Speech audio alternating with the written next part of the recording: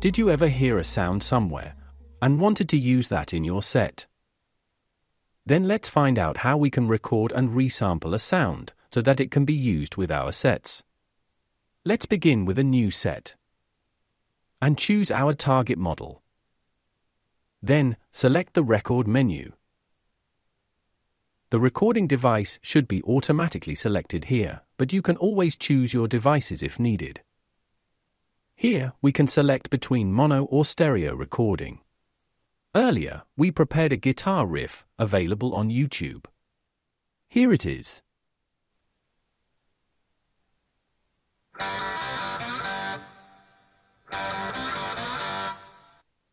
Once we're ready, we can begin recording our sound.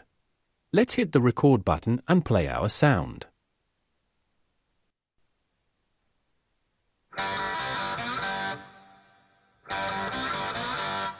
The recording is done, so now we can stop it. Here it is. As we started recording early, there is quite some gap at the start. So now we can trim unwanted areas.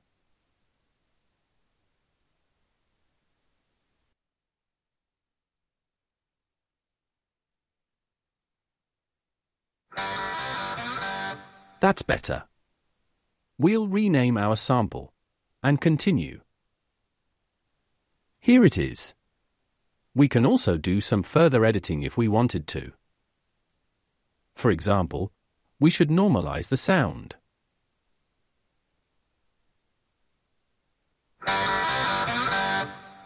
Also fade out the ending for a smooth playback.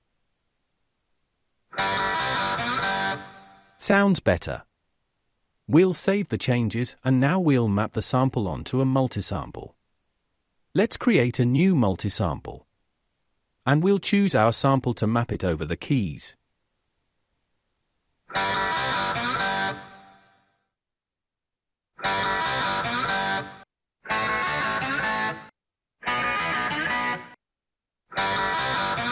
Remember to adjust the original key if it requires changing.